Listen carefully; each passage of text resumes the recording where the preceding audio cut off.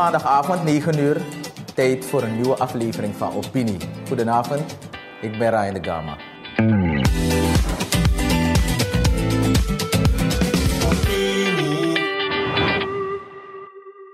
Het is onze tiende aflevering, wat betekent dat we dus negen afleveringen achter ons hebben. Maar het kan toch altijd nog zijn dat u dit programma voor het eerst ziet. Dus wil ik u even snel vertellen dat Opinie een programma is waarbij we inhoudelijk ingaan op bepaalde onderwerpen. Het kunnen zijn maatschappelijke onderwerpen, sociale onderwerpen, maar ook economische onderwerpen.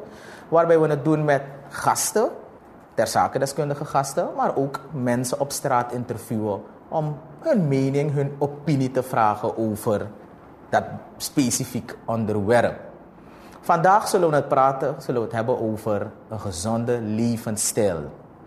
Waarom een gezonde levensstijl? Kijk, je kunt alles hebben in je leven.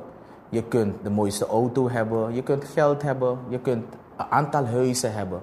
Je kunt dit hebben, je kunt dat hebben, maar laten we allemaal eerlijk wezen. Als jij niet prettig zit in dit lichaam, als je niet prettig zit in je vel,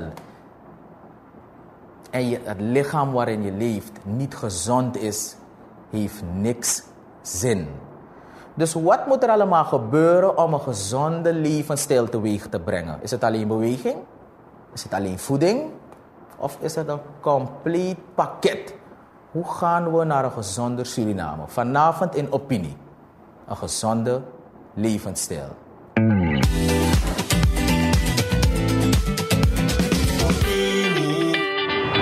De gasten voor vanavond zijn Percy Oliveira, voorzitter Bedrijvenvereniging Sport en Spel.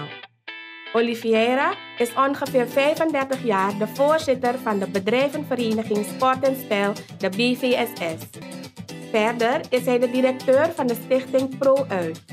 Stichting ProUit is de Academie voor Gezondheidsverzorgende Beroepen. Deze stichting bestaat reeds 35 jaar. Kijkers, Percy Oliveira.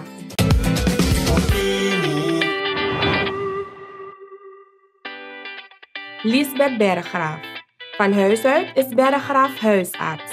Zij geeft verder leiding aan de stichting Diabetes Educatie Suriname en is reeds vijf jaren verbonden aan de One Stop Shop voor chronische ziekten. Kijkers, Lisbeth Berggraaf.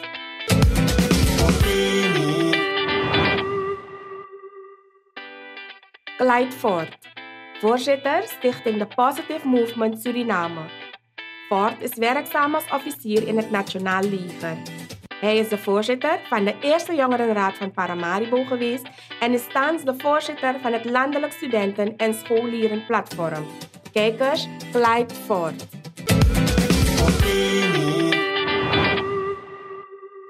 Welkom gasten, meneer Oliveira, mevrouw Berggraaf en de heer Fort. Welkom in Opinie. Om te beginnen bij dokter eh, Berggraaf. Als, u, als we zo een, een, een, definitie zouden moeten gaan zoeken of een verklaring moeten gaan zoeken voor een gezonde levensstijl, wat verstaan we precies daaronder, mevrouw Berggraaf? Als we zouden moeten zoeken naar een gezonde levensstijl, een definitie. Dat is natuurlijk erg moeilijk, omdat levensstijl natuurlijk voor iedereen iets anders is. Hè? En het gaat echt om de manier waarop jij leeft, de manier waarop jij je leven inricht. En daar horen natuurlijk een aantal dingen bij, want u zet een woordje ervoor, wat natuurlijk ook een heleboel discussie kan gaan opnoemen. Gezond, want wat is gezond? Er zijn denk ik drie aspecten. In de loop van de tijd hebben we gewoon een aantal dingen geleerd. Er zijn drie belangrijke die iedereen kent. En dan zijn er altijd nog twee die wij erbij zetten. Het gaat om voeding, het gaat om bewegen, het gaat om goed in je vel zitten, psychisch. Hoe voel je je daarboven? Niet roken, geen alcohol. Dat zijn die vijf dingen. En als we die vijf dingen kunnen combineren in ons leven, in de manier waarop we leven, dat wil zeggen, u mag piloot zijn, u mag dokter zijn, maar u mag ook de straatman zijn en de vuilnisman. Als u dat kunt incorporeren in de manier waarop u leeft, kunnen we praten over een gezonde levensstijl. Eigenlijk, Hmm. heb, eigenlijk hebt u dus me al een beetje antwoord erop gegeven, maar ik wil toch die vraag weer stellen Ja. Mhm. en ik wil het ietsje scherper stellen. Wanneer ben je gezond? Nou, is natuurlijk een hele moeilijke vraag. Eigenlijk is het een tricky vraag. Want wanneer ben je gezond? Als we gaan kijken naar de autoriteit op gezondheidsgebied, dan kijken we natuurlijk naar wat de WHO zegt, de Wereldgezondheidsorganisatie, en die zegt: op het moment dat je goed in je vel zit, dus op het moment dat je goed in je vel zit en je kan een aantal dingen doen die behoren tot je happy zijn, ben je gezond. Mm. Het moment dat ik ja. prettig in mijn vel zit. Klopt. Hmm. Moeilijk, wordt, hè? Het wordt een hele mooie discussie vanavond. Want, even een voorbeeld. kijk, kijk, even een voorbeeld. Ik ben blind. Ben ik dan ongezond? Ben ik ongezond? Omdat ik niet zie? Ben niet ongezond, hoeft niet. Als ik maar happy ben. Als ik in een rolstoel zit omdat ik een dwarslesie heb, ik heb mijn rug gebroken of ik ben daarmee geboren, ben ik ongezond? Nee, dat is niet waar. Ik kan wel degelijk gezond zijn, omdat als ik goed in mijn vel zit en ik kan doen op een goede manier wat ik doe en ik hou rekening met een aantal dingen. Ik beweeg met mijn armen en niet met mijn benen, maar wel met mijn armen. Kennen die basketballers in die rolstoelen? Niks aan de hand. Ik zorg dat ik een goede voeding heb. Ik zit niet alleen maar te zoute dingen enzovoorts te eten en ik voel me happy. Gezond. Maar prettig in je vel zitten. Ja, een belangrijk ik, stukje hoor. Ja, dus ik zou, ik, ik zou het vertalen, voor mm mijzelf hoor. Zou ik het vertalen als prettig in mijn vel zitten, en dan zou je dus het moment dat je je gelukkig voelt.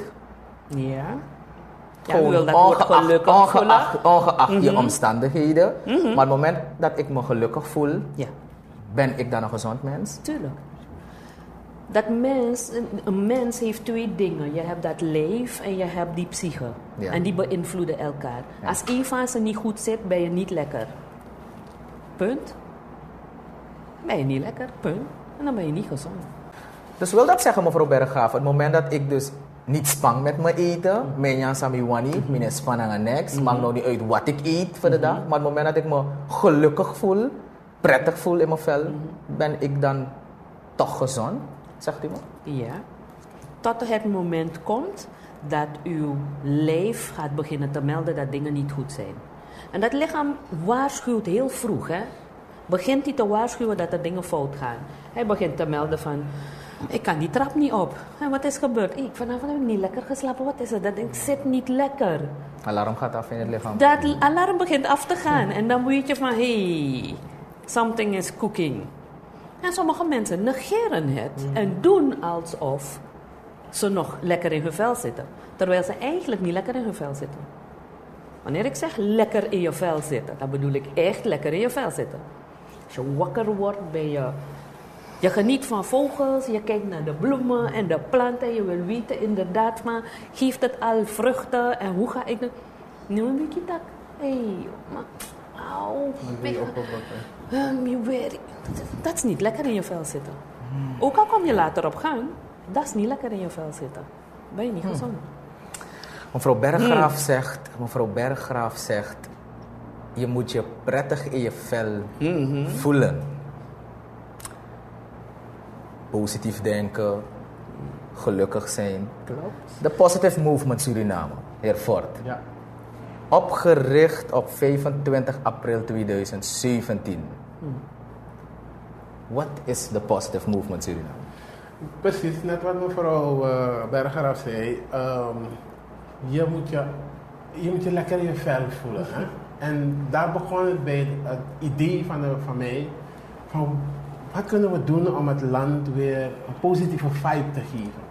Hoe kunnen we mensen weer inspireren? Hoe kunnen we ervoor zorgen dat we die samenleving uh, bewust gaan maken over die ontwikkeling die we willen? is niet afhankelijk van derden. Het begint bij ons.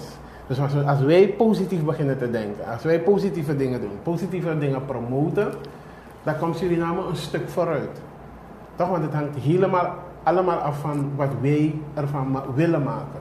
Dus uh, uh, zo is 25 april 2017 uh, het idee geboren om een, beweging op te zetten die gaat moven, die mensen bewust gaat maken. En met name op het gebied van uh, zelfredzaamheid. Want we hebben een situatie. Hoe ga je ermee om? Uh, bewustwording, uh, zelfwerkzaamheid. Want vaak genoeg willen we alles overlaten aan die overheid. we geven de schuld, we wijzen steeds van het is de overheid, het is de overheid. Maar het begint bij jou. Als jij niet positief denkt over de ontwikkeling, over die vooruitgang die je voor jezelf wil. Als je niet positief begint te denken over. Dan Als je geen stappen maakt, dan nou, kan nooit. Je kan tien schreeuwen dat die overheid verantwoordelijk voor is. Het begint bij jou. En ehm, wij hebben daarna hebben we gezegd, weet je, eh, als je mensen iets leert, begin thuis. Begin de mensen thuis erop te wijzen dat ze gezond moeten gaan eten, dat ze zelf moeten planten, dat je geen dingen moet gaan kopen bij de, bij de winkel. Ehm, eh, maar dat je ook weer dat gevoel van sociaal contact, maar bezig zijn met je kinderen thuis, in de tuin. En het resultaat daarvan is dat je, wanneer je weet wat je geplant hebt, dus je weet ook wat je eet. Vandaar dat we hebben gezegd van we beginnen thuis en dan gaan we daarna verder in die, met die maatschappij x aantal dingen doen. Want er zijn, mensen denken nogal dat de Positive Movement een landbouworganisatie is. Nee, we hebben gezegd, we hebben een aantal activiteiten die we willen- gaan doen met die gemeenschap. Willen we ze op die op eh, spoor brengen van positief denken, ontwikkeling helpen brengen. Een van ze is thuis beginnen, gezond eten. Ik eh, hoor meneer Ford zeggen, positief denken. Ik hoor mevrouw Berggraaf dan daaraan koppelen, prettig voelen in je vel. Maar Olivera, kunnen we zeggen dat eigenlijk een, gezond, het, een, een, een gezonde levensstijl begint bij Adenki? Eh, nou, we hebben eh, een paar aspecten gekoppeld aan gezonde leefstijl. Dat zijn de dingen die je aan moet koppelen. Er zijn een paar eh opgezomd. Eh, wij zeggen één, eh, gezonde voeding, gezond bewegen, goede nachtrust, juiste balans tussen werk en ontspanning, minder alcohol, minder roken of geen roken, sociaal-economische rust, beheersing van je zintuigelijke behoeften of impulsen. Dat, is- dat is voor onze visie eh, de aspecten die een gezonde levensstijl beïnvloeden. Dus een beetje holistisch gedachte, een algemene Ja, ja, ja. gedachte daarvan. En ik wil even stilstaan bij eh beheersing van zintuigelijke behoeften, maar dat brengt ons vaak in problemen. Je rijdt langs die rotizaak en je ruikt de roti. En je stopt en je koopt die roti. Je, zit, je, zintuig, je ruikt het of je ziet het. Ja. En als je dat niet kan beheersen, betekent ook dat je verkeerd bezig bent. Soms had je niet Eh? eens honger, maar soms had Ja, je je niet eens honger, maar Je hebt geen behoefte om te je, eten. Je creëert Ja. behoefte om, om, En- dat is te gevaarlijk. eten. En wij zeggen verder dat een gezonde levensstijl moet leiden eh, tot het terugdringen van de NCD's. Dat, dat, dat, dat moet het gewoon sowieso doen. En, ehm, en dat moet verder ook leiden tot minder ziekteverzuim. Dat mensen minder ziek zijn. Want Dr. Bergman zal het beter weten dan ik. ja. En dat moet ook zorg dragen voor het verlagen van de kosten in de gezondheidszorg. Dat is van eminent belang. Als het volk ongezond is, dan kijk je naar dokter Berggraaf. Dat kost je handen voor geld. Als je het geld niet hebt, moet je proberen zoveel preventiemaatregelen te treffen dat je mensen bewust maakt van deze aspecten. Dat ze op moeten letten. Ja. Ik wil bijna zeggen dat als we ah, dus om, om, om al deze aspecten dat u hebt genoemd, om ze na te streven. Natuurlijk is het vanuit het holistische. Ja, gedachten. Maar om allemaal na te streven is het niet onmogelijk. Laat me één pakken. Eén, één Dus het, het zo. Het wordt, ik, ik wil dat bijna zeggen Laat me dat, dat gezond wordt. Laat me één pakken. Als je dus echt allemaal zo moet doen. Sociaal-maatschappelijk economische rust. Als ik geen baan heb, ik heb geen werk. Ik kan niet gezond leven. Ik eet wel eens alles wat die pot verschaft. Want ik kan verder niets betalen. Want ik heb geen sociaal-maatschappelijke rust, economische rust. Dus wat ik in mijn zak heb, dat besteed ik aan, aan voeding. Ja, dat is ja. meestal tekort. Dat is te weinig. En andere consequentie daarvan is, ehm, er zijn daar discussies over dat je op een gegeven moment ook kunt gaan stressen. En dat ze ook kunnen leiden Tot. tot Kijk, als we praten over, over eh, gezonde leefstijl, het is net een beetje su- gesuggereerd, er zijn natuurlijk een aantal eh, belangrijke eh, actoren die daarbij een rol hebben. Je persoon zelf, het begint Ja. bij jezelf, heeft Ja. een rol. Ehm, je sociale netwerk, dan praat ik even verder de scholen, die hebben een rol. En de overheid heeft een rol. En iedereen moet zijn rol terug kunnen zien en vinden. En iedereen moet ook van uitgaan dat we weten dat Suriname ongezond is. Het is geen discussie. Dat weten we met z'n allen. Wat we met z'n allen moeten doen, is proberen die structuren beleid te maken om het terug te dringen. Wij van de BVSS vechten al jaren naar een platform voor gezond Suriname. En het platform moet bestaan uit alle actoren die daarmee te maken hebben. En dan moet er beleid worden gemaakt. Beleid kost geld. Een deel gaat van de overheid moeten komen, een deel gaat uit het bedrijfsleven moeten komen, een deel gaat van de RGO zelf moeten komen. Waarbij je dus target stelt. Een platform zou moeten zeggen, we willen dat binnen vijf jaar de NCD's teruggedrongen moeten worden met 5%. Laat maar lopen, hoge bloeddruk. Nu, wat gebeurt er nu? Ik doe iets, de BSS doet iets, organisatie B doet iets, organisatie C doet iets in het bewegingscircuit. Eind van de rit, internisten huilen van hypertensie neemt toe, diabetes mellitus neemt toe, cardiovasculaire aandoeningen nemen toe. Uh, dat, dat werkt dus niet, we doen iets verkeerd. Want we bewegen allemaal in Suriname. Als ieder weet. Ja. Maar die ziektes gaan niet terug. Omdat Het tegendeel natuurlijk- heb je, dat die stijgt. Omdat er natuurlijk eh een groot probleem is. En dat is dat natuurlijk levensstijl uit een aantal dingen Ja. bestaat die met elkaar verbonden zijn. Ja, en wij doen ja. allemaal dingen die niet met elkaar verbonden zijn. Ja. Dan kan je Voordat ik, even naar, goed zijn. voordat ik naar meneer Ford ga, meneer Oliviera had het over een van de belangrijkste, dat we bewegen, maar er gebeurt toch iets. En dat het toch fout gaat. Maar voordat we doorgaan daarmee, laten we iemand, we hebben iemand geïnterviewd die zeker ook alles weet van bewegen. En dat is dus de mevrouw van eh BFit. Zeker geen onbekende mevrouw van BFit. We hebben haar geïnterviewd om, omtrent dit onderwerp. Laten we even samen kijken wat zij vindt van dit onderwerp.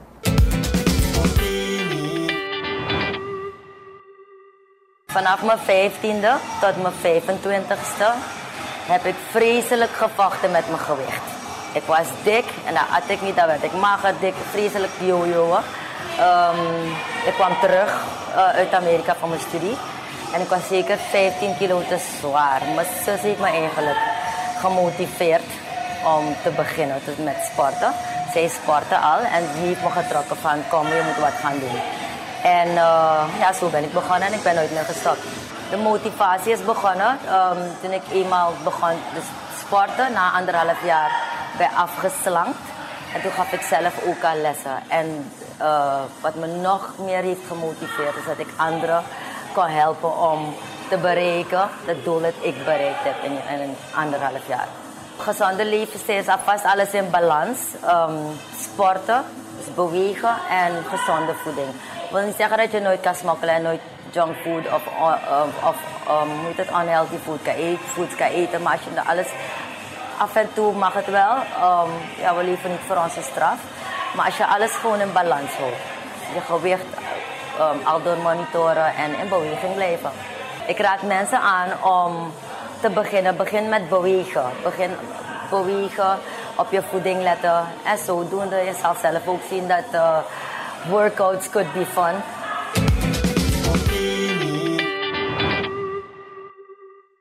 Aldus mevrouw Bernadette van B-Fit, zoals ik al eerder zei, de niet onbekende mevrouw. Mevrouw Bernadette geeft aan dat er in haar perceptie voor een gezonde levensstijl er een goede balans moet zijn tussen bewegen en eten. Dus bewegen en goede voeding. Nou zegt meneer Ford van de Positive Movement Suriname, tenzij je zelf plant, hebt u me daarnet gezegd, weet je niet wat je eet. Dat zegt u toch? Tenzij je zelf plant, Weet je wat je eet? weet Nee, dus tenzij je het niet zelf hebt Niet, gepland, sorry. ja, ja. Weet je niet wat je eet. Klopt. Maar nou leven we in Suriname, de realiteit is daar. We zijn geen vreemde Jeruzalem. En nog niet zoveel mensen planten voor zichzelf. Dat weten we. De realiteit is er. Nou kopen we voeding, we kopen groenten, we kopen voeding om het in, onder één noemer te plaatsen. Hoe weet je wat je koopt en als het inderdaad veilig en gezond is? Dus Om even dat, bij dat stukje van voeding even te blijven. Ik wil voordat ik daarop antwoord geef, even teruggaan naar wat meneer Oliveira zei. Dat eh, als je je geld stopt in voeding. Ik, ik, ik zou dat juist afraden, want je moet, je moet zelf planten, waardoor je nog geld overhoudt. Maar als je geld allemaal naar daar, da- daarin stopt, dan ga, je, nee, dan ga je niet gezond leven. En, en dan direct terug naar hoe weet je wat je eet. De meeste groenten die we eten zijn bespoten groenten. Die, die, die, die, hand, die, die landbouwer, die wil afzet. En wij als Suriname willen mooie groenten eten. Het moet er goed uitzien, groot, geen soros. Dat is juist ongezond. En dat is waar we de mensen op wijzen. Want ah, ah, ah, die kool mag zo mooi zijn, maar het is bespoten. En die pesticiden zijn al dat soort dingen die we langzaam in, in opnemen, die zorgen voor die ziektes. Toch? Dus, en daar is waar mensen bewust gemaakt moeten worden. eh, waarop we ook de mensen wijzen van... Eigenlijk zorgen we zelf voor langzaam vergif innemen en onze dood. Want we longen bij groenten, we gaan naar de Chinees, we gaan naar, overal gaan we groenten kopen. Maar we weten niet wat we kopen. We willen wel eten. En het beste is dat je liever zelf plant en dan weet je wat je eet. Dat is, wat wij, dat is onze, eh, onze rode draad in het heel moestuinenproject. Ga zelf planten, dan ben je ervan bewust. Wat je plant, wat je plant eet je. Want inderdaad, meneer Oliviera. Eh, wat ik bedoelde met eh, geld eh, Stappen in voeding. gebruiken voor voeding. Ik Als het niet van de huidige situatie, hoe het nu is. We willen naar de situatie van de toekomst, dat we mensen gaan stimuleren om zelf te planten. Ja. Maar de huidige situatie leert ons dat een deel van de inkomsten wordt Naar voeding gebudgeteerd voor voeding. En En, dat zou je kunnen minimaliseren door zelf te planten je Juist. gezonder kan eten. Klopt. Ja. Maar mag ik daar even Ja, natuurlijk. tussen Ja, komen? Ik ben het met u eens. Als we zelf zouden planten, dan weet je wat je eet. Oké, dat is heel mooi. Nu heb ik een baan waar ik nauwelijks thuis ben. Ja. Ik kan niet planten. Ja. Hoe ga ik eten? Ja. En, en, en los daarvan, die arbeider is mijn patiënt en die komt met alle stress, want hij kan niet verkopen. Ja. En die wordt ziek daarvan. Dus ik heb een dubbel probleem. Ja. Ik kan niet kopen en mijn patiënt wordt alleen maar zieker, want hij heeft meer stress. Dus- Het is... Dus dat is... Nee, ik heb er ook antwoord op. Ik, hoor mensen Dat is- inderdaad Mevrouw ik hoor mevrouw Bergen zeggen, het zit niet zo eenvoudig in elkaar als klopt. nee. Het zit niet zo eenvoudig in elkaar. Nee. Weet je wat het probleem is? Ja. Je kan natuurlijk een aantal dingen doen wanneer je plant en het wil verkopen. En u zei het aan het begin, je moet controle erop hebben. Ja. Wie heeft controle daarop? Niemand. Precies. En dan is, hebben we een probleem. Natuurlijk kan je hele mooie groentes hebben. Het lukt andere mensen ook met biologisch telen en al die dingen. Om prachtige groenten te hebben die ik op een gezonde manier kan hebben. Wie garandeert mij dat het biologisch geteeld is? Wie garandeert mij dat ik geen mooie groenten... Waarom zou ik geen mooie groentes mogen hebben? Ik wil een lekker leven hebben. Ik wil mooie groentes hebben en een mooie salade. Als je het zelf plant. Nee, ik kan dat veilig kopen omdat ik weet er zit een keurmerk op of ik weet bij die persoon is het goed. Ja. En dat is wat we moeten creëren. Ik ga het niet zelf doen, waarom? Ja. Ik wil dat graag bij mijn arbeider kopen, waarom niet? Ja. Prima, uitstekend. Dan heeft hij ook een inkomen. Dan stresst hij ook niet en hij heeft die zijn afzet. Ja. Dus, Maar eh, het is een, een, een, een samenwerking van ons allemaal. Ja. En niet ieder zijn eigen dingetje doen. En- En, ik snap u, uw standpunt hoor. Je moet ergens beginnen. Ja. Maar dat ding moet gaan lopen. En we moeten connectie maken. En we moeten gaan kijken hoe gaan we dat ding regelen. Dat het evenwichtig overal is. En iedereen kan geniet, genieten Ja. van positive movement. Ja. Positive vibe. In het hele land. Ik ben het helemaal met u eens zo. Kijk, een ander eh, aspect eh, die we vaak eh, vergeten is dat eh, de huidige technologische ontwikkeling maakt ons bewegingsarm. Ja, Maakt ons arm.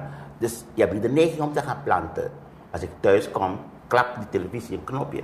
Zit ik in mijn auto, klap, mijn ruitje gaat open, word bewegingsarm. Ja, ja. Ja toch? Bijna alles is Ja. Dus automatisch. en ook die ontwikkeling kun je niet meer remmen. Nee. Je kan het niet remmen. Je zou inderdaad, ik ben eens met meneer Porto dat, dat je eh, moet beginnen om te zeggen: mensen, ga planten, ga iets doen. Ik ben het hem eens, dat is geen punt. Maar moeten we rekening houden met die beïnvloedingsfactoren die er zijn, die we geen invloed op hebben. Ja, maar we willen allemaal ons- mooiere dingen hebben, toch? Meneer Oliveira, wij laten ons beïnvloeden. En wij gaan mee. En daar begint het. Wij maken die stap. Wij accepteren die verandering. Dus wij kunnen gaan planten. En wij kunnen bewust zijn. Dus als we van eh, dat standpunt vertrekken. Ik laat me niet beïnvloeden door anderen. Luister. Ik, ik Ja. beïnvloed mijn eigen omgeving, mijn gezin. Door te zeggen, we moeten een gezonde levensstijl, we moeten gaan wandelen, we moeten planten, omdat we voor onszelf verantwoordelijk Ja. zijn. En een, een, een, een technologie gaat mijn leven niet veranderen. Ik ben eens met u. Nee, meneer, Ik ben eens met u. Ik ben eens met u. Het, het de kracht van de marketing in de samenleving is ontzettend groot. Ja, maar- dat, dat is om mensen te beïnvloeden om iets te kopen. Ja. Als het gezond is of niet, laat ik even in het midden. Maar jij stelt je open voor.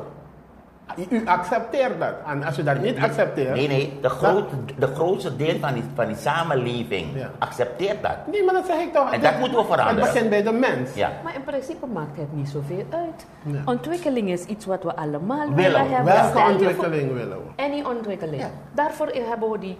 Daarvoor hebben we dat inderdaad. We Ja. willen de grote wereld bereiken. Ja. Ja. Dat is ons streven. En de consequenties. Dat wordt een van de consequenties. Precies. Ik moet met mijn digitale wereld Ja. mee en dat is Ja. niet erg. Ja. Dat maar, kan. Maar daarom Prima. zeg ik ook, het laatste is, mev- de, mevrouw Berggraaf zei, ik heb geen tijd om te planten. Ik ga er niet van uit dat mevrouw Berggraaf 24 uur werkt. 24 uur bent u bezig. Nee, dat, Ik ben dat- beschikbaar, ik kan daar niks aan doen. En Mijn telefoon nee. kan anytime En terecht, gaan wat en ik moet gaan. Ja. ja, nee, En dan, ik denk ook al ben ik in die tuin, moet ik er- heeft. moet ik is het, eruit. niet, is het niet gezond. Maar Als ik rust rust- nodig heb, ga ik op vakantie. Ja, ja. En Dat is gepland. Ja. Twee keer per jaar. Ik ga op en een vakantie. ander, as- punt. ander aspect is, Ja. hoe zijn bewegingsarm gemaakt? Kijk, Kijk, meneer het is Oliveira. Kijk, de discussie komt heel mooi op gang en ik merk het ook aan de vibe tussen de gasten. Want natuurlijk praten we over een gezonde levensstijl. Ja. Ik hoorde iemand me ooit altijd eh, zeggen dat er geen vaste formule is in het leven. Bijvoorbeeld, en dat brengt me meteen naar het volgende, is dat je ziet, je merkt dat dus sommige mensen zo gezond leven. Zo, mo- de, de, de man is drinken, de man is smoken. Ze eten heel gezond, ze eten de hele dag groenten. Ze planten ook zelf, zoals meneer Fort van de Positive Movement dat aangeeft. Maar toch gaan ze eerder dan anderen die ongezonder leven. Als, we, als ik even die noemer mag noemen, ongezonder leven. Of dat ze dus toch soms plotseling ernstig ziek worden. Ja. Er is, er is geen vaste formule in het leven. Hoe kijken jullie daar tegenop? Hoe kan, hoe kan dat? Ik denk, misschien kan mevrouw Berggraaf ons daarmee helpen. ik wil het? graag beginnen erover hoor. En ik denk, we hebben natuurlijk allemaal onze mening. Ik ken genoeg verhalen van die jonge mannen slank, keurig, netjes, topsporters op het veld en boep, ze vallen neer. Klaar, ja. Ja. Ja toch? En als je dan gaat kijken wat er nou precies is gebeurd, dan hoor je wat ze gedronken hebben. En dan denk je van, hé, hey, je bent zo gezond als ik weet niet wat. Je eet inderdaad netjes thuis, hè? geen dingen op straat waardoor je alleen... Maar je doet iets. Ja. Een ander ding is inderdaad die omgeving. Wat zit er in die lucht die je inademt, waardoor je wel die vergiftiging krijgt? Die chemische vergiftiging, laten we even eerlijk wezen. Laten we even eerlijk wezen, maar we hoeven niet ver te gaan. Wat about onze benzinestations? Ja. Die jongens staan daar 12 uren te tanken met een benzinelucht. Ja, ja. Hallo, ik ken, ik, ken, ik ken mensen die zeggen van ga zelf tanken. Ik sta niet daar, want ik krijg Nee. die benzinelucht naar binnen. Dat is puur gif. Quick in de lucht. Hoe, hoe gezond blijf ik? Ik sta te werken om eerlijk aan mijn brood te komen. Ja. En ik maak mezelf ziek. Hoe dan? Hoe, hoe moeten we dat doen? Dus er is geen vaste manier en het is niet zo eenvoudig als wij denken. Kijk, je noemt een aantal dingen en je moet echt geloof me, je moet ergens beginnen met dingen. Zelf planten, ik gil de hele dag. Waarom plant je niet zelf? Want je klaagt over groente is duur en je klaagt over plant zelf. Ja. Tuurlijk weet ik ook dat niet iedereen zelf kan planten. En natuurlijk snap ik ook dat die landbouwer niet zonder dat planten kan, want als hij niet verkoopt, heb ik een ander probleem. Ja, precies. Dus het is niet zo eenvoudig, maar je moet ergens beginnen. Meneer Fort heeft gelijk, laten we ergens beginnen. En het geldt voor ieder aspect. Laten we eerlijk gaan kijken naar onze environment. Wat gooien we de lucht in? Al die 100.000 auto's in Paramaribo. Wat willen we worden? Japan met dingen? Of benzinestations die alles maar gooien?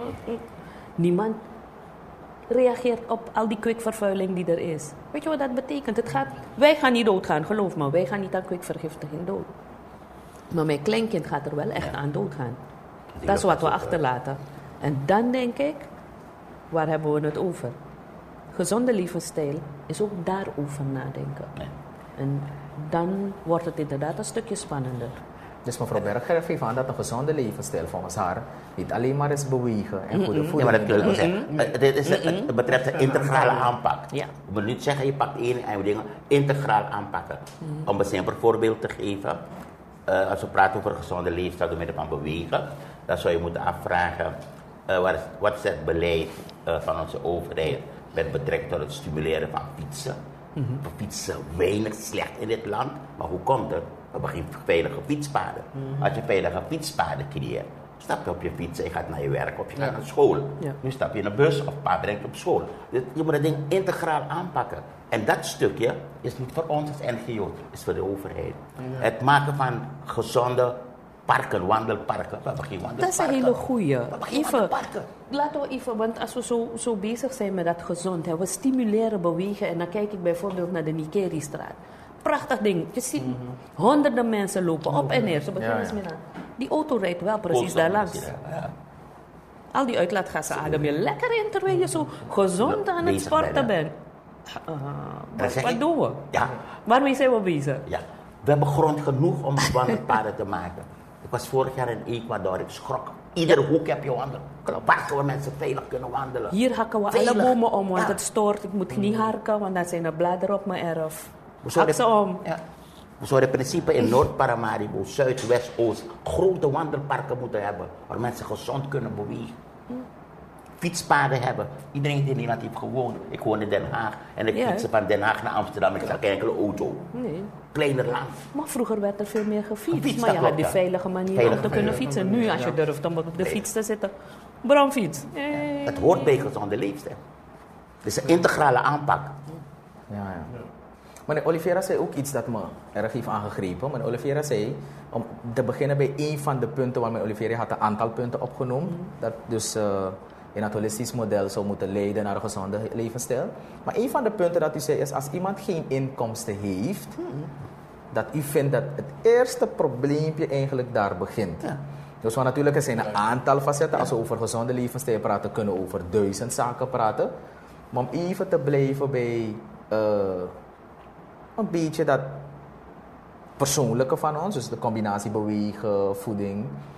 Dan zegt u dat als iemand geen inkomen heeft of weinig inkomen heeft, dat de persoon dan moeilijk gezond zou kunnen leven. Want klopt het wel dat gezonde voeding, want ik heb de mening altijd hoor, ik weet niet, misschien ligt het aan mij, misschien heb ik het mis, dat gezonde voeding duur is. Ja, kost geld.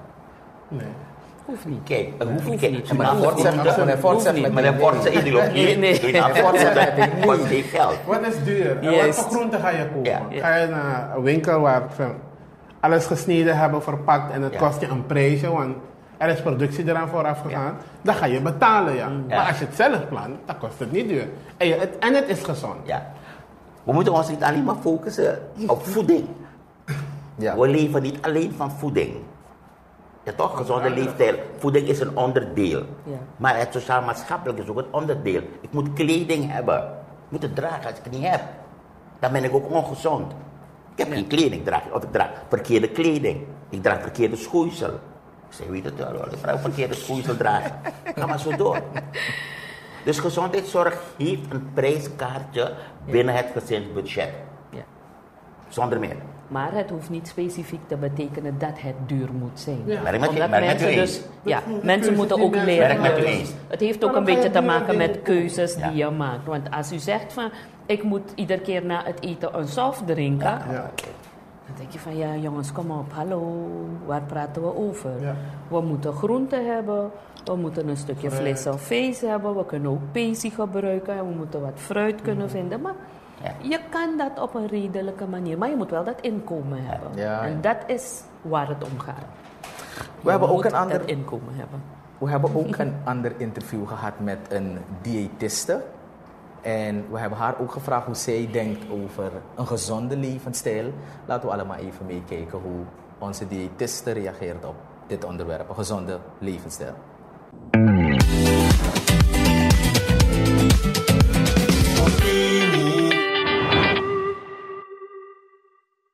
Een gezonde levensstijl is veelomvattend. Het is niet alleen maar gezonde voeding, het is niet alleen maar gezond bewegen, maar het is ook goed kunnen omgaan met stressfactoren.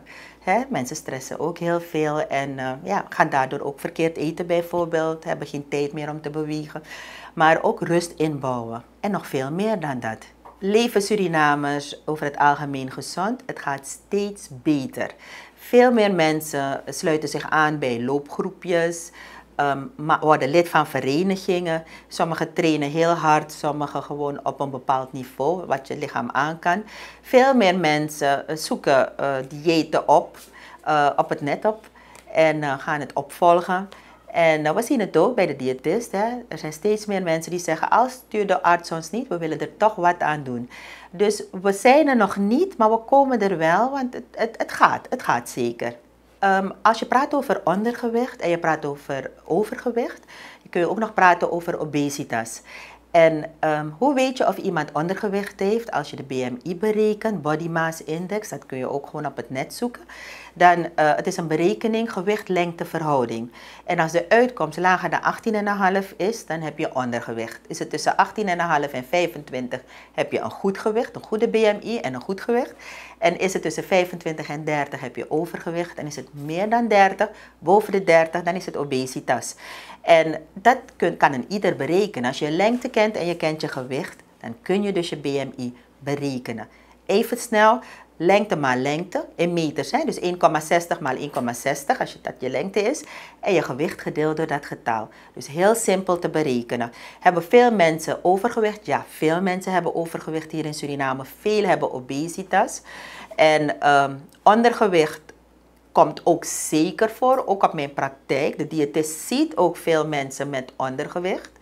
Uh, maar je ziet ook mensen die ondervoed zijn. En mensen die ondervoed zijn, hoeven geen ondergewicht te hebben. Je kan een goed gewicht hebben, maar de labwaarden wijzen uit dat door te weinig van bepaald eten te eten, of door, door slechte eetlust of, of door een bepaald ziektebeeld, dat je ondervoed kan raken. Dus ook dat speelt een rol hier in Suriname, zeker weten. Een gezonde voeding uh, is, is meer dan gewoon een maaltijd. Hè? We kijken naar verschillende, verschillende aspecten, we kijken naar verschillende dingen. We kijken naar hoe, hoe regelmatig eet iemand.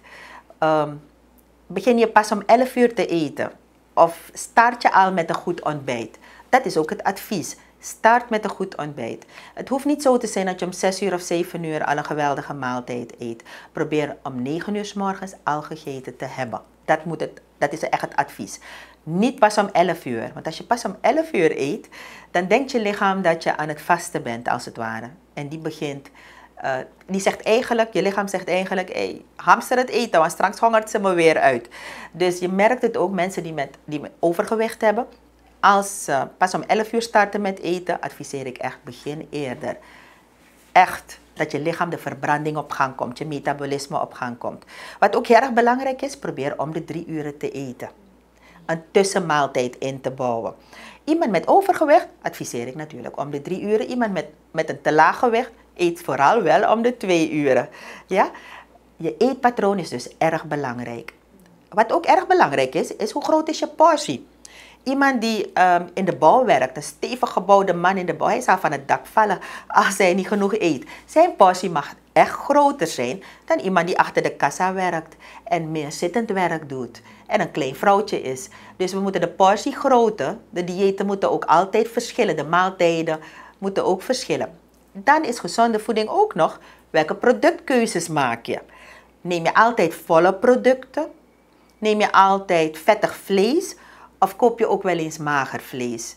Um, volle producten. Er zijn ook magere en halfvolle producten. Die hebben gewoon minder calorieën. Terwijl ze misschien evenveel andere voedingswaarden hebben, van andere voedingsstoffen hebben. Dus de keuzes, ook een balans vinden in de um, vollere producten en de minder volle of de light of, of magere producten. Um, wat ook het geval is, hoe, bereid, hoe wordt het eten bereid? Wordt het met heel veel vet bereid? Wordt het met heel veel zout bereid? Er is nu zoveel hoge bloeddruk in Suriname. Zoveel hoge bloeddrukpatiënten. Uiteindelijk hebben we zoveel nierpatiënten daardoor. Dus kunnen we met minder zout het eten klaarmaken. Of misschien kunnen we zout helemaal beperken en gewoon andere alternatieven zoeken om het eten smakelijk te maken. Door met veel meer met verse kruiden en specerijen te werken. Ook dat is gezonde voeding. De suikers of, suik, of suiker. Suiker beperken, zo niet vermijden. We hebben zoveel sap, zoveel soft, stroop, koek, gebak. Maar ook suiker als smaakmaker in ons eten een pom, een sopropo, willen we altijd met een beetje suiker, dat die bita weggaat. Of dat die pom nog lekkerder is. Maar intussen gebruiken we zoveel suiker. Ehm, wat nog meer? Veel suiker in de thee en de koffie. Ook dat kan verminderen. Maar ook ehm, minder vet gebruiken. In feite hebben we in een, per huishouden maar één eetlepel olie nodig om het eten te bereiden. Dus heb je, en normaal schenken we uit een fles in die pan en dan kijken we van oké, mooie bodem om onze uien en knoflook in te fruiten. Toch? Vaak is het veel meer dan de bedoeling is. Woon je met vier mensen in huis, kook je voor vier mensen, dan heb je maar vier eetlepels olie nodig. Is een ongezonde levensstijl de oorzaak van nierdialyse? Dan moet ik even terug naar de basis. Belangrijk is het dat we inderdaad iets aan het gewicht doen. Maar er zijn ook mensen die hoge bloeddruk hebben. En er zijn ook mensen die diabetes zijn. En heel vaak is er ook een stukje verwaarlozing, is er een stukje nonchalance, vooral bij hoge bloeddruk. Bijna ieder hier in Suriname heeft een familielid met hoge bloeddruk. We weten dat het er is. In feite heb jij dan ook een risicofactor, omdat het erfelijk kan zijn. Ook diabetes kan erfelijk zijn, maar ook overgewicht kan leiden tot diabetes. Dus als we, die, als we overgewicht aanpakken, die obesitas aanpakken, maar ook de hoge bloeddruk aanpakken, minder zout eten, meer bewegen. Als we de diabetes aanpakken, minder koolhydraten eten, goed verdelen over de dag, overgewicht aanpakken. Dus dat is meestal de basis dan denk ik dat we minder dialysepatiënten uiteindelijk zullen hebben. Maar wat wel heel belangrijk is, de patiënt is verantwoordelijk voor zichzelf. Maar wij als hulpverleners, diëtist, arts, specialist, wij zijn ook, hebben ook een stukje verantwoordelijkheid. wij moeten met meer voorlichting komen. Wij moeten de mensen ook vertellen, de patiënt ook vertellen. Um, wat dus eigenlijk voorkomen, hè, we moeten proberen te voorkomen dat het zo ver komt. Maar als het er eenmaal is, moeten we de mensen ook veel meer informatie geven. U krijgt vier verschillende tabletten. Waarvoor dienen de tabletten? Laat ze niet zomaar weg. Weer weglaten. Bespreek het met mij. Dus het is, het is heel belangrijk dat wij ook een goede, grote, wij spelen een grote rol en het is heel belangrijk. Wat is mijn tip? Wat is mijn advies voor een gezonde levensstijl? Doe wat binnen je vermogen ligt. Hè. Uh, maak er moeite voor. Uh, het is gemakkelijker gezegd dan gedaan. Niet iedereen is financieel bij machten om zich aan te sluiten bij een vereniging. Maar zet een, gezellige, een gezellig liedje op en beweeg met je kinderen in de huiskamer. Ook dat is beweging. Of ga een jump of een verlosse Alice spelen op het erf of op, in de straat. Doe iets. Dus doe iets aan beweging. Nogmaals, het is gemakkelijker gezegd dan gedaan. Zeker als je twee banen hebt of een hele drukke baan. We moeten meer moeite doen. Meer moeite doen. Voeding. Probeer al op je voeding te letten. Heb je er hulp bij nodig? Doe er wat aan. Er zijn vaak voorlichtingsactiviteiten. En als je dan ziet gratis voorlichtingsactiviteiten over voeding, over beweging. En dan kijk je naar maar een handjevol mensen komt opdagen. Het is gratis, ga er naartoe. Probeer je meer te verdiepen in je lichaam, in je, in je voeding, in, in beweging. En het komt goed.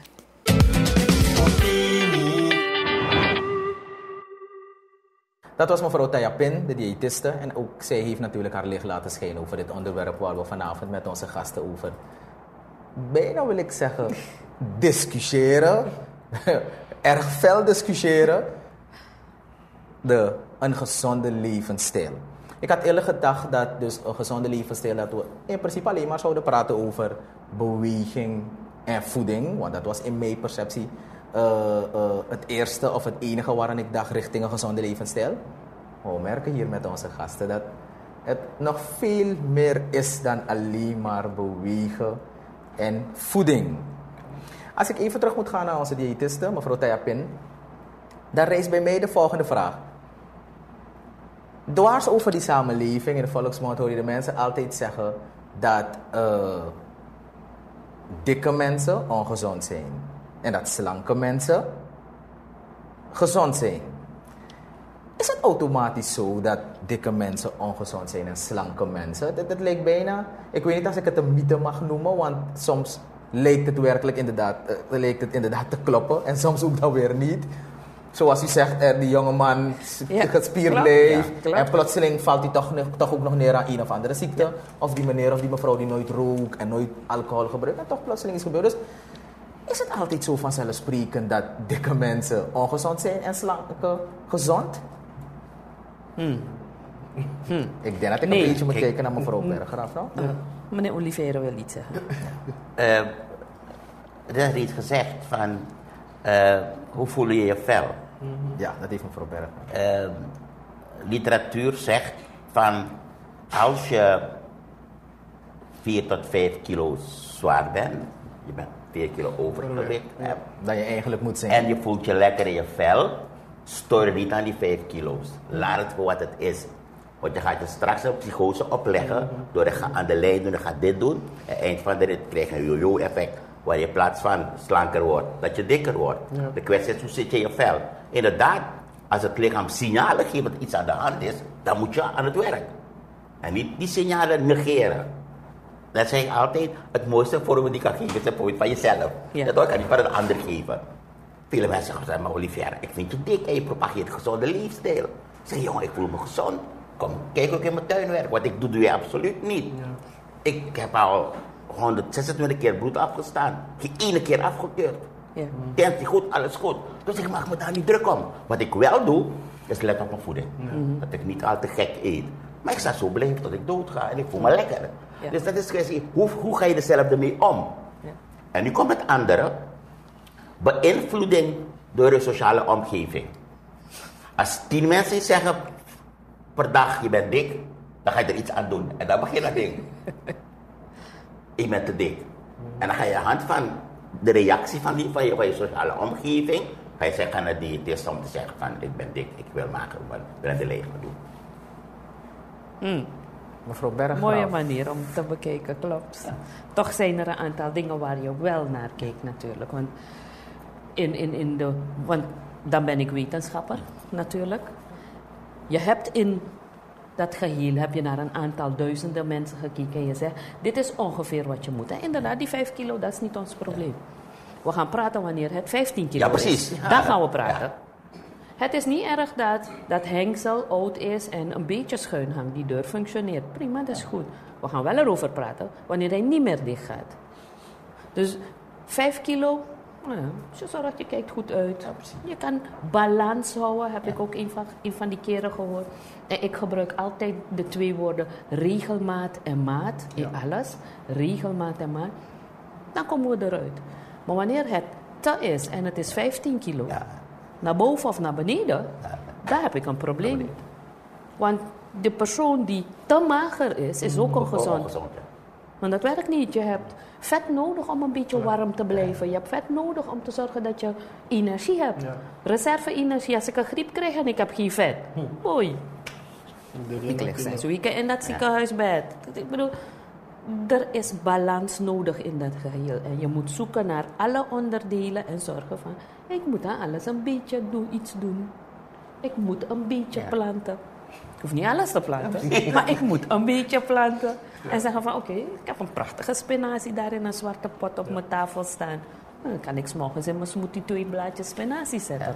Maar ik hoor jullie dus toch wel zeggen dat het ergens toch wel belangrijk is. Misschien hoeven we niet zo mee te gaan met dikke mensen zijn ongezond en slanke mensen zijn gezond. Zeggen jullie in principe dat het niet echt helemaal klopt. Maar ik hoor jullie wel ergens zeggen dat het toch wel belangrijk is om op je gewicht te letten. Om op het juiste gewicht te Ja, die, die signalen van je lichaam, dat is ook gezegd. Je Ja. luistert naar de signalen van je lichaam. Ja. En als je inderdaad de signalen geeft, dan moet je inderdaad eh, aan het werk. Ik ken mensen die aan de lijn hebben gedaan. En eind van de rit, anorexia nervosa. Ja.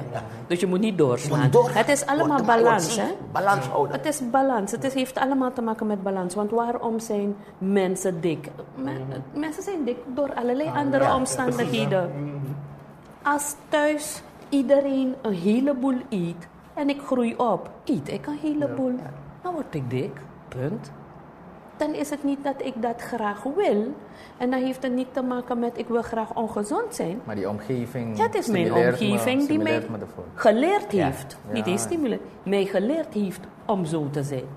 Maar dan zegt Als nou meneer Ford, dan zegt meneer Ford, de positive movement van de positive movement Suriname, dat eigenlijk zegt u meneer Ford, dat ongeacht van welke omgeving, want ik merk dat dus als mevrouw Berggraaf of meneer Oliveira iets zegt in die richting dat u uw hoofd schudt, Ja. dat dus u vindt ongeacht Ja. van waar je komt of hoe je bent opgevoed, dat u van de Positive Movement Suriname, dat jij een andere denkie teweeg kan Ja. brengen. Dus het begint, nogmaals, geloof je? het begint nogmaals bij het positief denken hoor. Want ik, net, net wat ik eerder heb gezegd, en ik ben eens met u, dat, eh, mevrouw Berggraaf, dat u zegt balans. Balans moet jij, heb je, alles heb jij in je eigen hand. En dat is nogmaals waar wij op, eh eh, op duiken.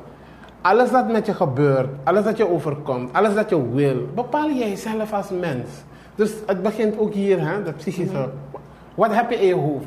Als je je laat beïnvloeden door de omgeving, is het omdat jij dat wil. Jij staat toe, jij laat dingen gebeuren. Dus jij als mens staat centraal. Wil je die positieve, positieve verandering? Wil je meegaan met, de, met die wereld?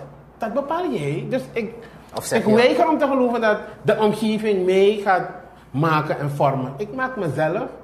Ik vorm mezelf. Ik wil. Ik wil meer eten. Ik wil niet meer eten. Ik wil planten. Ik wil niet planten. Dus het Maar mevrouw- bij mij. Maar mevrouw Berggraaf zegt daarnet dat als ik ben opgevoed in een omgeving, Ja. dat is mijn nyafuru, Ja. dat me ook door nyafuru, Nee. dat zegt mevrouw Nee, Berggraaf. Je bent moest- gevormd door die omgeving. Dan moest je en dan is het weer de omgeving die jou kan leren om een aantal dingen te doen. Ja. Maar meneer dan Ford komt zegt- meneer Ford en dan zegt hij van... hé, hey, jij doet dat zo, maar je hebt een keus om te zeggen. Snap je? Ja. Je hebt een keuze om te zeggen. En Daarom het is inderdaad iets wat wij nu hebben om te kijken naar die NCD's. Die chronische ziektes die we hebben, die continu over, eigenlijk overhand krijgen overal in de Ja. hele wereld. Ja. Ja. En dat heeft te maken met wanneer die patiënt niet weet wat er aan de hand is, Mhm. gaat hij nooit de juiste keus maken. Dus wat gaan we doen? Die we gaan die patiënt vragen. centraal stellen. Ja. We gaan hem lessen geven en uitleggen wat er gebeurt en hoe het gebeurt. En dan moet hij die keus maken. Ja. Klopt. Dus als ik gezond wil leven, dan Mhm. moet ik geen junkfood meer eten. Ja, je mag. Je Kijk, mag. maar- Je mag. Maar Dat je ding is niet zo zwart-wit als u het Laten we- stelt. wij, wij stellen van, kijk, luister. eh, een belangrijk aspect van gezonde leefstijl is, je mag alles eten in mate. Ja. Alles matig. Dus als ik per dag één glaasje cola drink, is er geen vuiltje aan de lucht. Nou, is als, ik, veel. als ik een liter en anderhalf liter drink, heb, ik al een Ja. heb ik al een probleem. Dus je moet alles klopt. Ja. Mijn stelling is altijd regelmaat en maat. Ja. Regelmaat en maat. That's it. Maar regelmatig kan ik zeggen, drie, drie glazen per dag is regelmatig. Nou, ook We dat drinken kan, bijvoorbeeld ook niet dat water. Ja. Gewoon zouden we Ja. elke dag water moeten drinken. Hoeveel water moeten we per dag niet innemen? Er is een, er is een, een, een regel volgens mij. Ja, maar het is, er is een ontwikkelingstrend. Ja. Ja. Vroeger als kleinjongen hadden we niets anders dan water, Water, te drinken. ja. Nu heb je zoveel mogelijkheden. maken wij de keuze. We maken de keuze omdat we naar de winkel gaan. en we Weet gaan je, het heeft ook we een beetje te maken met die ontwikkeling. Ja. Ja. En het komt inderdaad van heel ver hoor. Mensen, water drinken is potis maar dingen. Kan Ja, niet. gezond. Ik hoor vaak mensen ook zeggen, wat er naar voasie. Yes, klopt. En dan moet ik andere dingen hebben. Terwijl dit is je basis Ja. voor je gezondheid. Gezond. Water. Ja. Ik vind het grappig dat mensen aan hun planten water geven, maar terwijl aan hun kinderen geven ze softdrinks Ja. en... eh. Dat is een van de dingen die je krijgt. maar het heeft te maken grappig. met perceptie. Ja. Hoe zie jij gezondheid? Ja. Ja, ja. Als u zegt gezondheid is alleen maar voeding en bewegen, Nee, dan hebben we een probleem, Ja, ja, want het is veel meer dan Ja. dat. Ja, ja. Dus het is een van de dingen. Het is echt een hele mond vol. Eerlijk gezegd, ik had niet gedacht dat een gezonde leefstijl. Eerlijk, eerlijk, eerlijk dat dat ding zo breed gaat. Wat moet er in Suriname gedaan worden volgens jullie? Of wordt er reeds gedaan om een gezonde leefstijl te bevorder- bevorderen? Laten we beginnen bij, wat wordt er nu reeds gedaan? Want ik hoorde meneer Oliveira vanuit die overheid bepaalde zaken noemen dat in principe de overheid zou moeten oppakken. Kijk. Zou moeten willen oppakken. Wat wordt er nu al gedaan? Kijk. Laten we daarmee beginnen. Eh, formeel, structureel, dus formeel, structureel wordt er niets gedaan. Er is geen beleid.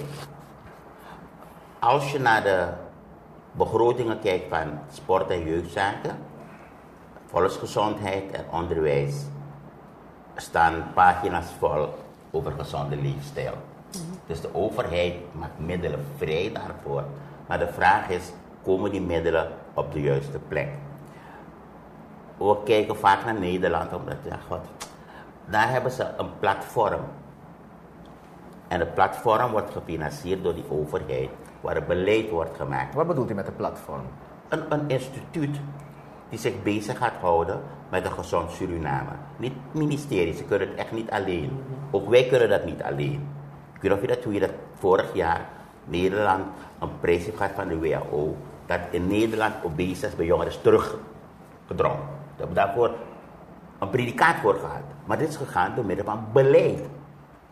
Dus als wij geen platform gaan creëren, waarbij duidelijk met alle actoren erbij, bijvoorbeeld Vereniging van Medici, fysiotherapeuten, de BVSS, Vlos, ga maar zo door. Alle actoren zijn erbij, waarbij er beleid wordt gemaakt. En dan kunnen we zeggen, als het beleid gemaakt is, dat kost geld. Dat geld moet komen, heb ik gezegd, van de overheid, van het bedrijfsleven en van eventueel de NGO's. Waarbij we aangeven, we willen dat binnen vijf jaar de NCD's, of laat me anders zeggen, hypertensie of obesitas met zoveel procent terugloopt. Dan heb je een instituut die kan controleren, die kan meten. Nu meet niemand iets wat we doen. Niemand meet iets. Dus Er is geen resultaat. Het wordt niet gestructureerd gedaan. En alleen als je het gestructureerd doet, heb je beeld en zicht wat je moet doen. Maar nu is dat, dit is er niet. Iedereen doet iets met de goede bedoelingen natuurlijk. Bedoelingen. Dus u zegt er moet een instituut, er moet een platform Er komen moet dat een, bezig een platform gezond. die specifiek bezighoudt met, ik noem het gezond Suriname. Ja. Volgens u, mevrouw Berggraaf, wat zou er nog gedaan moeten worden? Of wat, wat, wat moet er gedaan worden? Niet wat zou er nog, maar wat moet er gedaan worden in Suriname? Meneer Oliveira heeft aan de ene kant gelijk en ik denk dat er wel iets gebeurt. Ik wil mijn ministerie een beetje verdedigen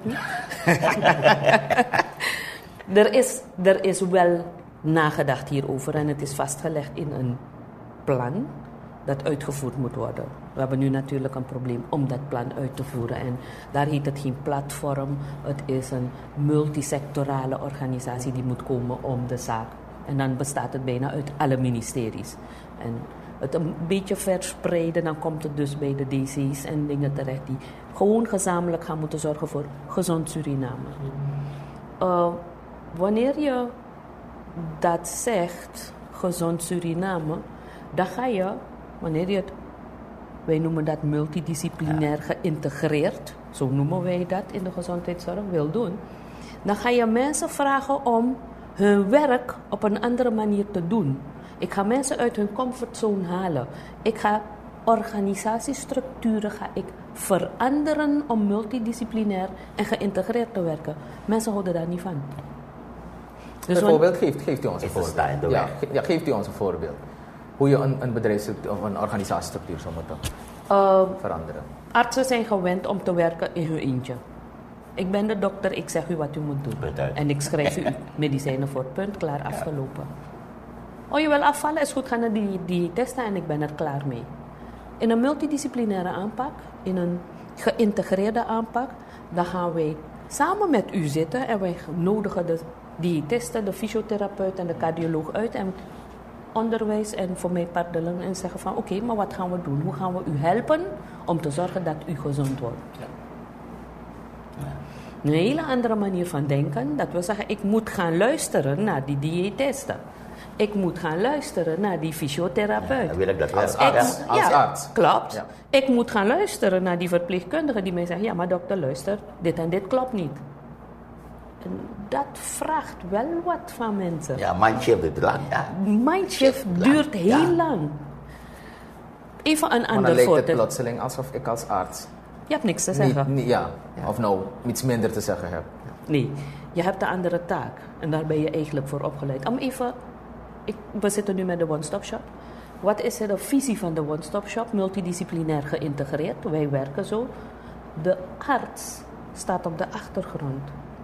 Het is de case manager, degene die met De? die patiënt. De case Sorry. manager, Case we hebben een manager. andere naam voor iemand die dus bezig is met die cliënt. Die screent hem, die gaat erna, doet onderzoeken, dealt met de diëtiste, dealt met de fysiotherapeut. Zegt, oh ja, maar je moet ook een ECG maken. De cardioloog kijkt en zegt, dit moet gebeuren, noem maar op. En die beoordeelt dat hele ding en zet het in een rijtje. En de dokter kijkt alleen maar over die schouder mee. Maar Oké, deal. Moet ik je medicijnen nog aanpassen? Is niet nodig? Nee, oké. Hele andere rol. Multidisciplinair geïntegreerd met die cliënt, centraal. Wanneer ik dat wil doen, onze hele structuur van de huisartsensetting is er niet opgebouwd. Een huisarts heeft een ruimte met zijn kamer en je komt binnen, de dokter, de Ja, ja.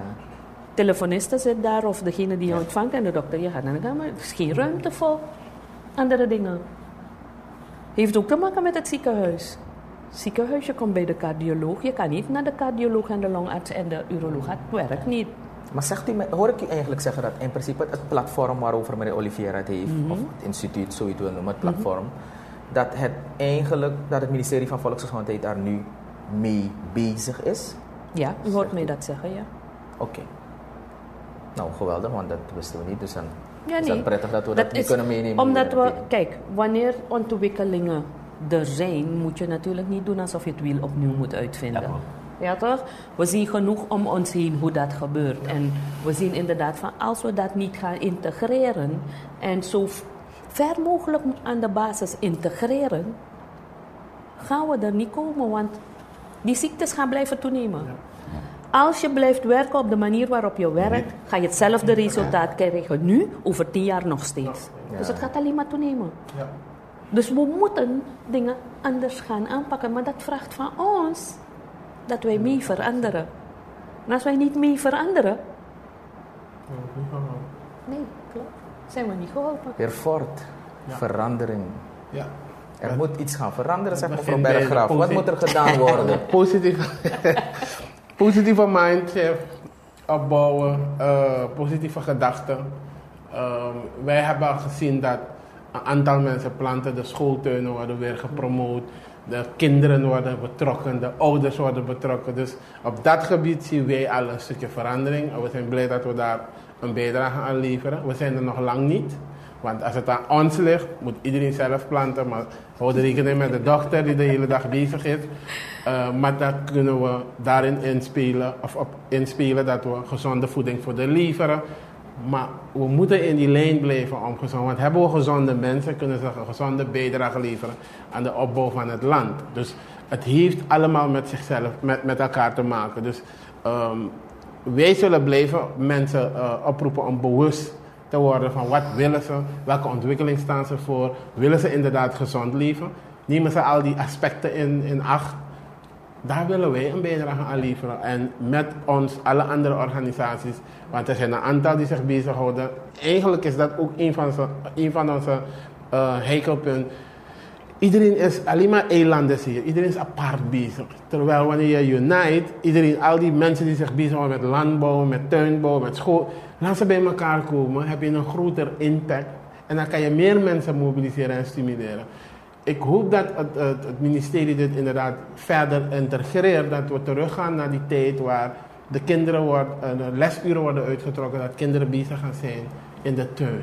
Want als je kinderen heel de- vroeg leert, juist, als je ze heel vroeg leert, is het een, voor, hun- voor hun leven is het iets dat ze meenemen. Dus daar is waar wij aandacht voor vragen. Er moet onderwijs komen, er moet voorlicht, eh, we gaan over een onderwijscongres praten.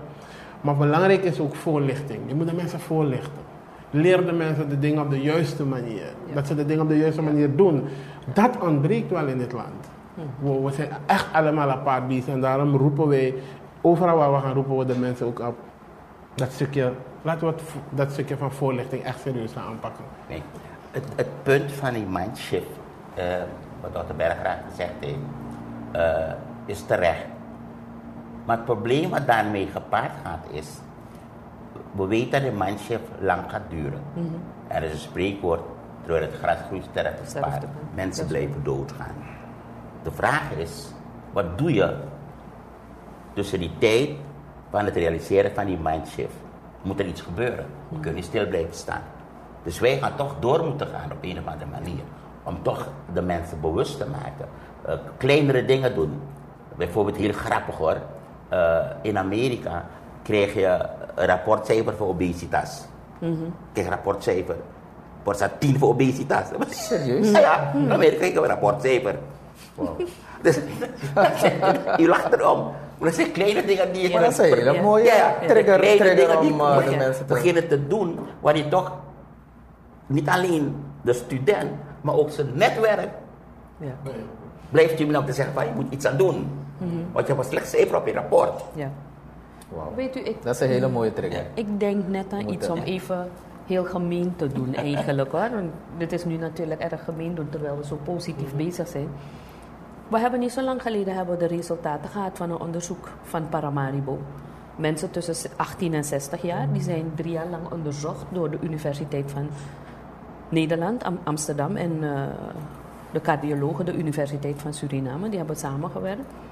En het resultaat dat eruit gekomen is, en ik moet zeggen, dat is zo griezelig, zo ernstig. En ik denk dat we ons niet realiseren wat dat zegt. Al die factoren, dat zijn risicofactoren om dood te gaan. Zo heten ze. Van de mensen in Paramaribo tussen 18 en 60 jaar die onderzocht zijn, is slechts 1% vrij van risicofactoren. 1% is vrij 1%. van risico. En wat zijn de risicofactoren? Wat waren die? Roken, alcohol, overgewicht, hoge bloeddruk, suiker, noem maar op. 1% maar was Eén. vrij van de risicofactoren. 1 procent. Dat is inderdaad niet zo. Nee. Nee, nee. Niet zo. Dat, Maar goed. dat is... Ja. En daarom denk ik van, je moet, je moet doorgaan. Ja, je kan niet wachten. Je kan niet wachten. Je moet nu beginnen. En alles wat er gebeurt, moet je aangrijpen om te zorgen van, oké, en hoe gaan we het bestendigen? Hoe gaan we het samenvoegen dat het doorgaat? Ja. Want inderdaad, waarom wordt er gimmen weggehaald ten faveur van Een andere school. rekenen Ja, of taal? ja. Hallo, ik Geen kan niet rekenen als ik niet beweeg hoor. Ja. Werkt niet.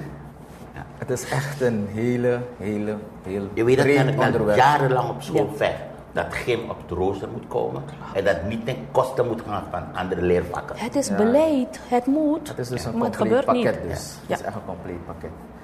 U hebt het gehoord, u die kijkt op dit moment naar opinie, dat dus het gezonde levensstijl echt niet alleen maar gaat om bewegen aan de ene kant en aan de andere kant goede voeding, maar dat er echt nog veel meer komt bij kijken. Elk van onze gasten heeft vanuit hun invalshoek hebben ze dus, zijn ze ingegaan op dit onderwerp. Zoals bijvoorbeeld meneer Ford zegt, dat het allemaal begint bij een positive movement, zaken zelf ondernemen, vanuit die eigen ik drijven en vooral natuurlijk zelf planten. Daar gelooft meneer Ford eh, heel sterk in. Dat als je dus zelf plant, even een moestuintje aanlegt, dat je dus niet alleen dan weet wat je eet, maar dat je dan ook dan lekker bezig bent met, je, met die geest en ontspant. En dat compleet pakket dus hij verpakt in positive movement. Mevrouw Berggraaf aan de andere kant geeft aan dat zij vanuit haar vak als arts, dat er gelukkig, hebben mogen vernemen van haar, dat er dus werkelijk wel ontwikkelingen zijn vanuit het ministerie van Volksgezondheid richting die integrale aanpak naar een gezonder Suriname. En mevrouw, meneer Oliveira, meneer geeft aan dat inderdaad er ook, net als mevrouw Berggraaf en meneer Ford, er een aantal zaken nog moeten gebeuren. Maar meneer Oliveira wil stressen dat ondertussen wij werken op, naar een gezonder Suriname of op weg willen gaan naar een gezonder Suriname. Dat er nu, nu, nu, nu, nu, nu, zegt meneer Oliveira, nu dat we ervoor moeten waken dat we niet wachten totdat we er daar zijn, tot het proces voltooid is voor een gezonde Suriname, maar dat er toch nog tot nu toe voorlichting gegeven moet worden en gemonitord moet worden, moet worden en constant, constant bijgesteld en bijgestuurd moet worden. Om op weg naar een gezonder Suriname te gaan. Ik hoop dat u wat eraan hebt gehad aan deze aflevering van Opinie. Ik wil mijn gasten heel hartelijk bedanken voor hier bij ons willen zijn. En dat ze dus hun tijd hebben genomen om met ons in depth te gaan over een gezonde levensstijl. Dit was weer een aflevering van Opinie. De herhaling mag u verwachten vast op de woensdag en de vrijdag om 9 uur. En als u die hebt gemist, zeggen we altijd, gaat u rustig naar YouTube. In verband met de stille week, de komende week, hebben wij dus geen opinie. Dat is dus maandag 2 april. Dan hebt u dus, zoals we hebben aangegeven, de tiende aflevering is van opinie. Hebt u dus rustig de tijd om even alle afleveringen af te gaan. En door ze te fietsen en te kijken welke u toch nog een keertje zou willen zien. Ik ben Ryan de Gama. Tot de volgende opinie. Dag.